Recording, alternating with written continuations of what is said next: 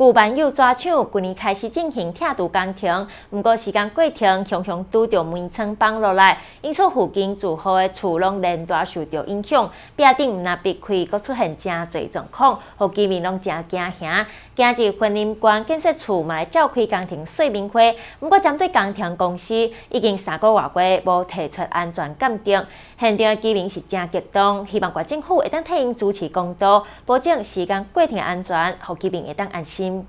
万有抓抢去年进行拆除工程的时阵，煤仓熊熊倒落来，造成真大声响甲震动，互邻近居民的厝拢受到影响，有的被开，有的破损，居民拢心惊惊。煤仓伊十月三号倒来的时阵，吼比像大地动安尼往深的，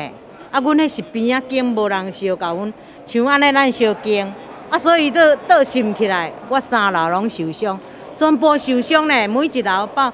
包括迄连这厝拢裂缝。哦，他打下来的时候，我那鬼爷那种地当啊呢，所以后来李明才发现到说他们家里皲裂的那么厉害，啊，所以就来投诉那个蔡孟真议员，然后开始就有一连串的这种投诉啊，还有请我们县政府出来处理的这个事情。李明大概有多少的受伤？哦，太多了。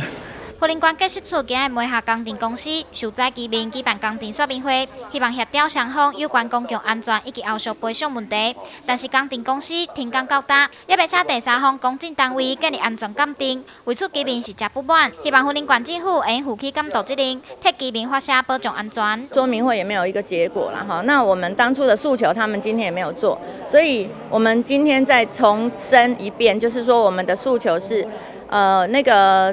台湾今年一定要要求这个厂商一定要做一个安全的拆除，然后再来就是说，我们针对受灾户的这个住户的呃房屋跟我们呃拆除的结构，还有邻近的这个影响范围，都要要做出一个鉴定，然后才可以帮这些受灾户做修复，然后再谈补偿的问题。建设处表示，虽然工程公司阁需要时间来改善，但是官府会尽力集中协调，希望和受灾居民得到满意维护措施以后，再阁继续工地拆除作业。那个责成认为说，这个安全鉴定的费用哦过高，所以他们没有办法接受。这个当中，我们一直在做积极的这个协调的这个工作哈。那后续我们会请再找一个时间呢，那个召开一个协调会，针对这些受损户，请他们。